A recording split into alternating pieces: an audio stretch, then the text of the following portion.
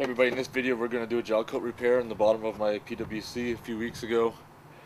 Um, we took it out for spin and before I put up the sell we're going to repair some of the gel coat on the bottom.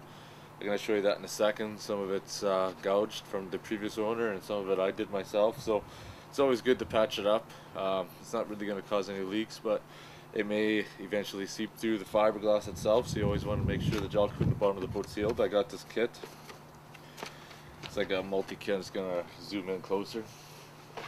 The kit I bought has everything you need. It has all the different mixing gels and coloring and everything else that you're gonna need to mix, but I'm just gonna show you on the bottom. The PWC. Little cracks over there. There's a good one on the side. Get some on the belly of the hull. Areas that we're going to patch up, so I'm going to use the uh, cleaning solvent that came with the kit and an oil-free rag, preferably something that's new, and just go underneath and clean out the cracks or the gouges we're going to repair. Um, I'm going to get a little closer and show you that in just a second. So I just use paper towel, but you might want to use a rag or something because paper towel uses some residue around. So I just kind of sprayed some on my rag and then kind of cleaned out the crack where I'm going. There's a few pretty good gouges up there. One there. It's like a section on the hull is pretty scratched up. But I'm going to repair this section here. There's a bunch of pinholes in here. We're going to do that as well. And that piece right there. There's the polyester gel paste and I just mixed that in the cup. I'm not sure how much I'm to need, but I just threw a bunch in there. And now we're to grab the black.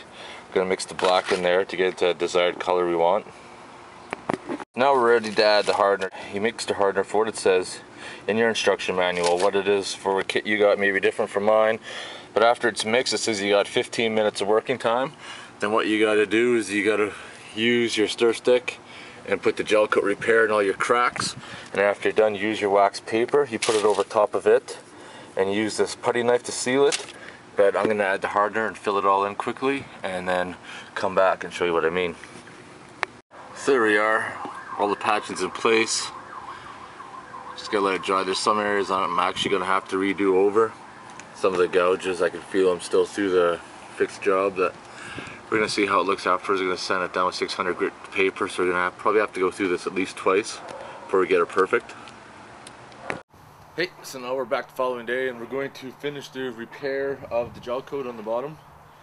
We let it set for 24 hours and uh, it's a little bit rough right now but I'm going to show you how to sand it down and what to do about go about polishing it and all that crap. So I'm just going to get you a close-up view here.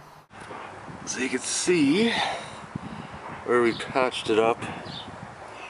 It's a little bit rough in spots, but we're going to go about and we're going to clean that up and polish it so hopefully it'll look just like new when we're done.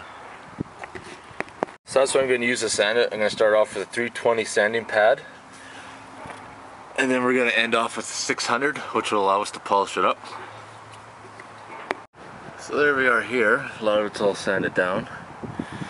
And we're ready to polish up the bottom. I got it jacked up with a hydraulic ram.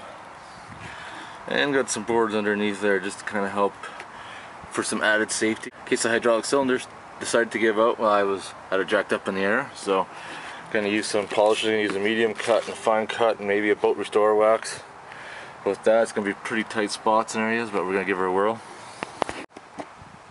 So I just want to show you, we're all done and polished. Looks pretty nice. But all in all, looks way better than what it used to look anyways.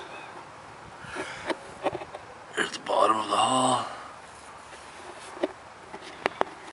So that concludes the video of repairing the gel coat on your PWC. You can use it on your bathtub, boat, whatever you want. My hair is a little bit dickered. I need to get a haircut one of these days, but not right now. But if you have any questions or comments, post them below. You can follow me on Twitter at Bullshit Corner. Uh, subscribe or like if this video helped you out, and thanks for watching.